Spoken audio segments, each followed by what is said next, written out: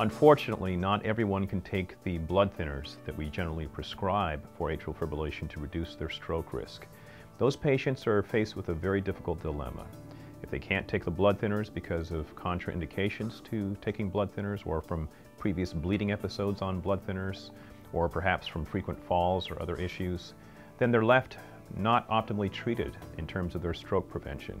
So this procedure is really a very nice procedure for those types of patients in general because it does not require long-term continuation of blood thinners.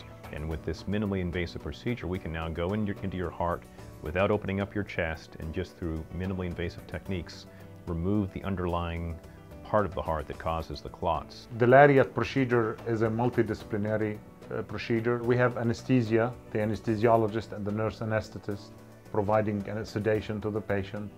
We have the ultrasound technician providing continuous observation with the TEE. Uh, you have the cath lab, the EP lab technicians uh, preparing the table, draping the patient, scrubbing.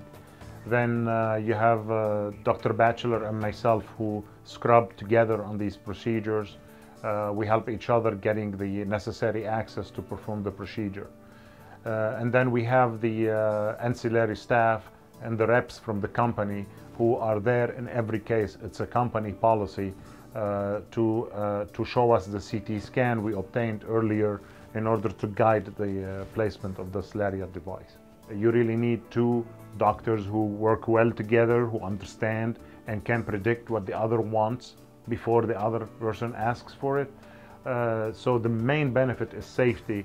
The other thing, it, it will shorten the time of the procedure because you have two people doing the work instead of one person doing it by themselves.